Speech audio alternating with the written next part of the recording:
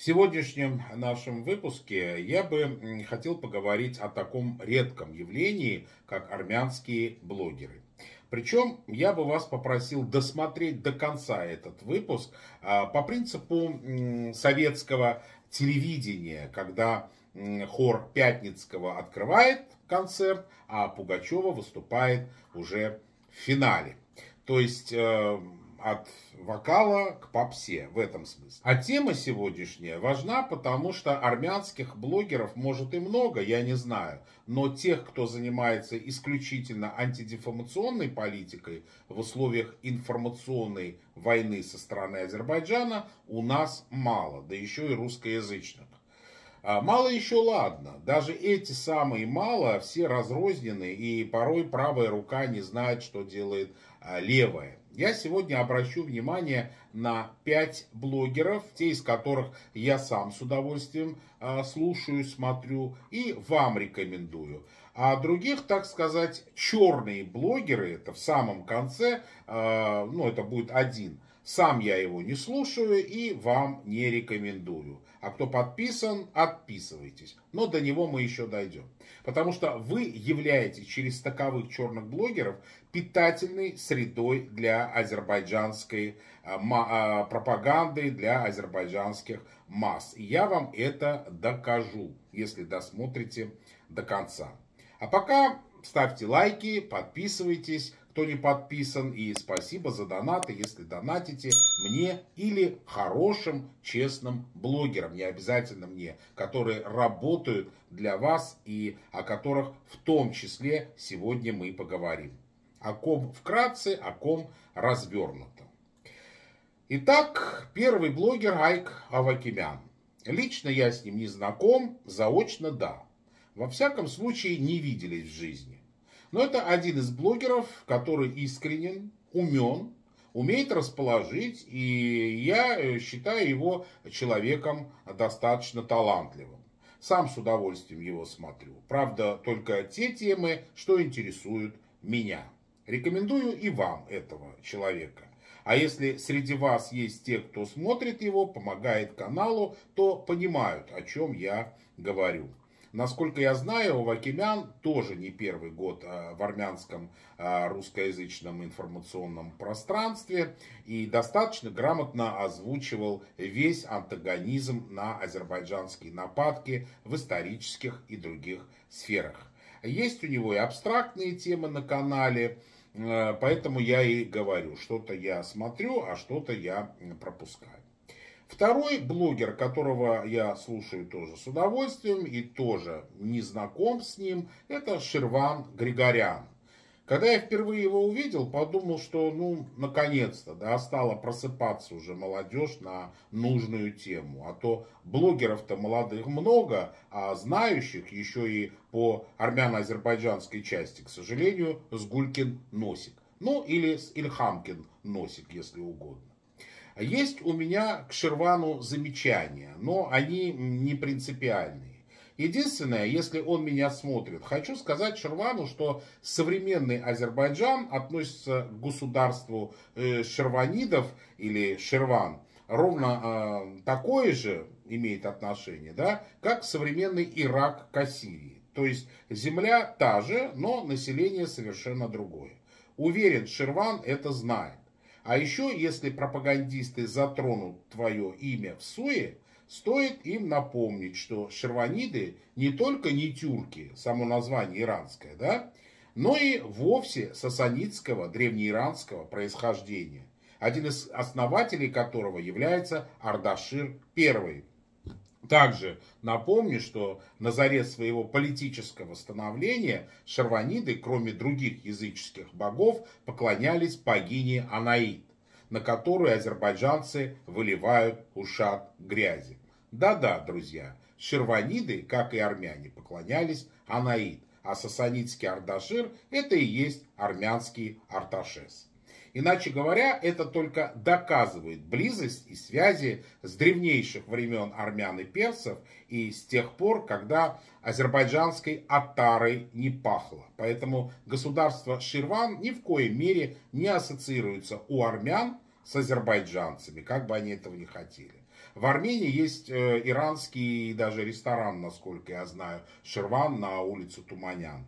А армяне могут спокойно называть именем Шерван своих сыновей, если угодно.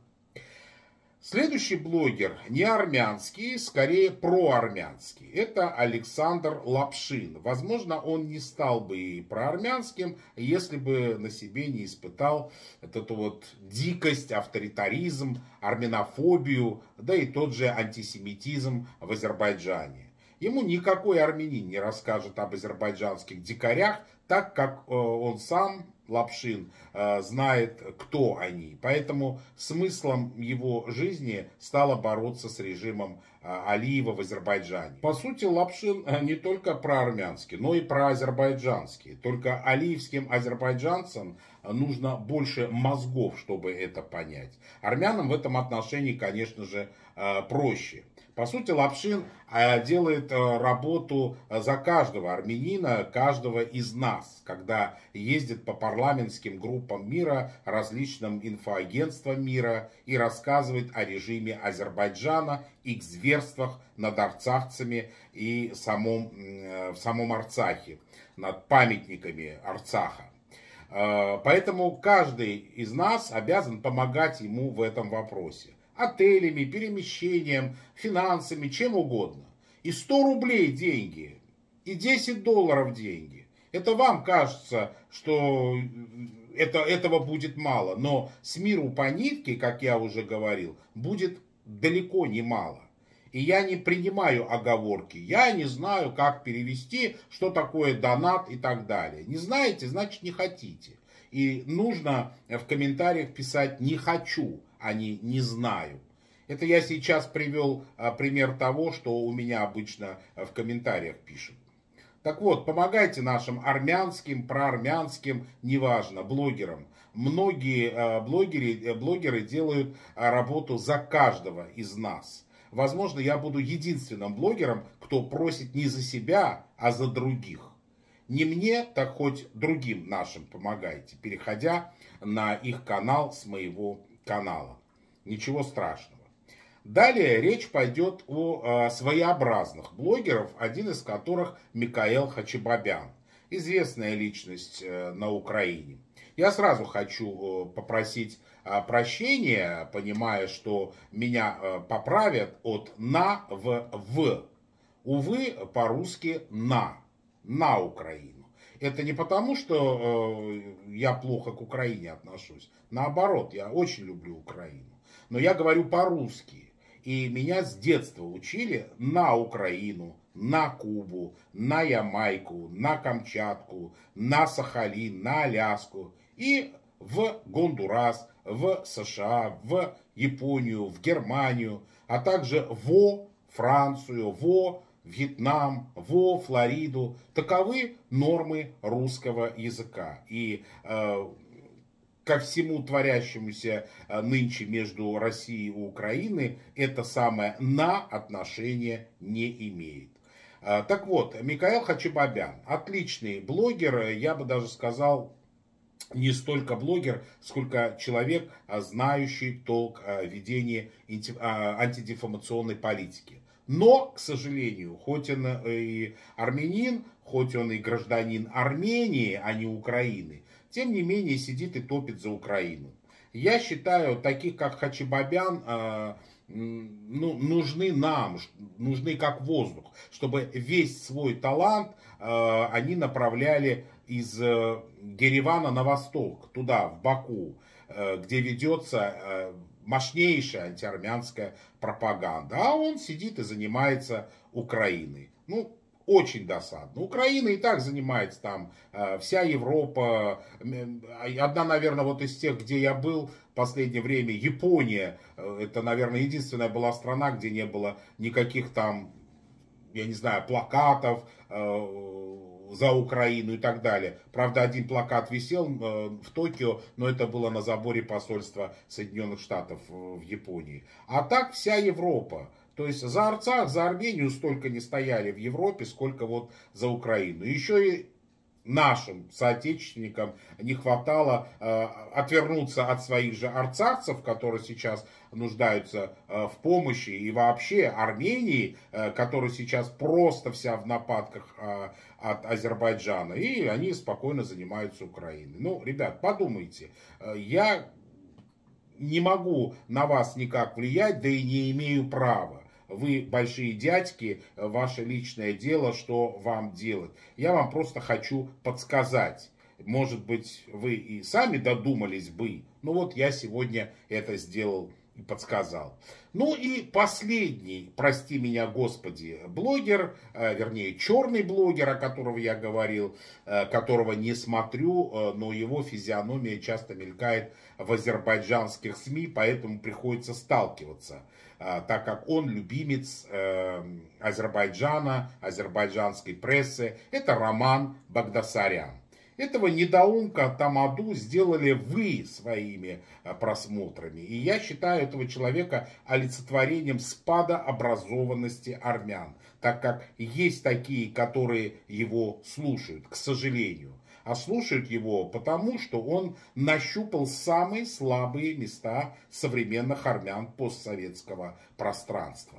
Ну, например, э, скажем, их ненависть к прежним руководителям Армении, нащупал справедливое недовольство армян на Россию. Справедливое, я повторюсь, заметил, что армяне а, приковывают э, свое внимание к экрану, если там слышат всяко разные сплетни о тех, кого они ненавидят. Все это прощупал Роман Багдасарян, а его зритель даже не понял, как стал адептом негласного азербайджанского посланника в Армении и их же стукача. Они даже не обращают внимания, какие гадости Багдасарян говорит о своих соотечественниках, тем самым давая пестрые заголовки нашим врагам. Вы даже не представляете, как Багдасаряна обожают эти враги и все, кто им сочувствует. Между тем, человек просто лжец, и я далеко не сторонник прежних властей далеко не сторонник прежних, э, прежних властей. Кто меня смотрит все эти 10 лет, прекрасно помнят, с какой критикой я выступал в адрес того же Сержа Сарксяна. И в адрес Пашиняна с критикой я выступаю. То есть я не за тех и не за нынешних властей. Я просто на себе убедился, что Багдасарян вводит вас за нос. И как настоящий тамада делает это а, с попыткой убедительности. Ведь, как я уже говорил, он понял слабые места армян. А вот недавно он соврал и обо мне. Первое, чего он сказал. Арутюнов не имеет право говорить плохо об армянских властях, хотя бы потому, что он не гражданин Армении. Значит так, Арутюнов столько всего сделал на информационном поле для Армении и армян за 10 лет, что имею полное право говорить то, что думаю. Арутюнов начал делать для Армении еще тогда, когда Багдасарян свадьбы московские вел и зарабатывал деньги с тех московских бизнесменов, которых теперь он кроет, на чем свет стоит. И, наконец, Арутюнов имеет право критиковать власти Армении потому, что Арутюнов гражданин Армении. Это первое доказательство, что Багдасарян вас водит за нос. Второе доказательство, что он говорит – обо мне. Где был Арутюнов, когда в Арцахе была война? Почему его не было в Арцахе? Мартуни э, в полуразрушенном состоянии пострадал практически каждый э, второй дом. Посмотрите, от неразорвавшегося снаряда. Это все, что осталось от дома вот этой вот несчастной женщины муж ее погиб. Я не буду спрашивать, где в это время был Багдасарян. Видимо, гуманитаркой занимался в Армении, там, где жопа теплее была, там, где не стреляли. А я как раз в Арцах ездил. И у меня туда, а, вернее, оттуда, и туда, и оттуда были сюжеты. И мои зрители знают об этом, видели эти сюжеты. Котенок, Аббас Джума, другие журналисты, все мы вместе ездили. Выполняли свой журналистский долг и распространяли материалы по всему миру.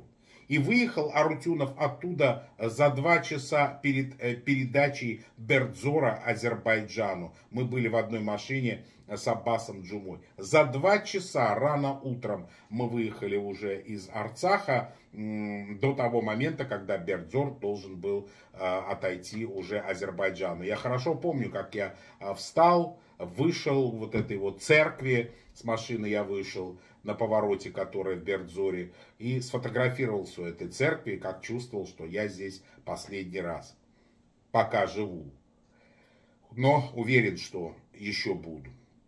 Но сейчас речь не об этом. Так вот, когда уже российские, с позволения сказать, миротворцы а, въехали в Арцах, мы уже оттуда выезжали. И все это я снимал и показывал, еще раз повторюсь. Погода такая новогодняя, стоим проехали Бердзор, подъезжаем к Лачину. Э, стоим в Лачинском коридоре. Здесь вот и российские миротворцы, и пробка вот такая вот образовалась у меня за спиной. Но я думаю, скорее всего, это пробка э, из-за погоды. Скоро двинемся дальше в Степанакер. Блин, как же да? Добрый день. Добрый день. Блин. Снимайте, пожалуйста. Ну, флаг Нельзя? турецкий дайте снять. Флаг Куда турецкий снимем. Ереван. Сколько у вас машин? Трое. Человек? Трое. Втроем, да? Все, проезжайте. Давай, ты мне скажи, куда нажимать-то. Да, на красный. И это второе доказательство вранья Багдасаряна. Третье доказательство вранья Багдасаряна это то, что он сказал, Арутюнов попросился на канал АРМ-ТВ, чтобы распиарить свой антитопор. Тут я хочу заметить, э, кто не знает, что этот московский тамада Багдасарян одно время работал ведущим э, на э, канале АРМ-ТВ, который потом закрылся в году 15 у него э, на программе э, была советская диктор центрального телевидения Анна Шатилова. Багдасарян делал с ней интервью. Так вот, я действительно первый написал Багдасаряну, но не для того, чтобы он меня пригласил и я пиарил антитопор а для того, чтобы он поделился контактами Шатиловой, так как в 89 году, когда были сумгаитские, бакинские э, погромы, Шатилова работала диктором, и мне хотелось у нее узнать, почему они врали, что в Баку ситуация нормализовалась, между тем, как э, там шли вовсю вот эти вот самые погромы. То есть Багдасарян, как журналист, э, армянин, должен был сам у нее все это разузнать. А он с ней хихи-ха-ха. Ему не до погромов было. А уже тогда я занимался антиазербайджанской темой. Вот он удалил свою страницу, э, но некоторая переписка есть. Вот мое первое к нему сообщение, где я представляюсь и не в эфир к нему э, прошусь, а контакты Анны Шатиловой спрашиваю. А в эфир он меня сам пригласил, и я ему сказал, что давай после Сирии. Я буду в Москве после прилета из Сирии, как раз э, будет э, что рассказать зрителям. Это третье доказательство, что он вам врет. Думаю, какой бы наивный и безграмотный не был зритель Багдасаряна, в душе он должен был понять, что если бы Вадим Арутюнов, извините, нуждался бы э, в пиаре, то он попросил бы многочисленных своих знакомых э, знаменитостей э, от зарубежья до российского пространства. И они бы его только так распиарили. Сделали бы Арутюнову контент. Более того, Арутюнов работал на федеральном канале и там имеет связи. Зачем Арутюнову э, бюджетный АРМ-ТВ с 15 с половиной зрителями и с примитивными двумя программами, интервью и поздравлениями музыкальными? Вот вам третье доказательство.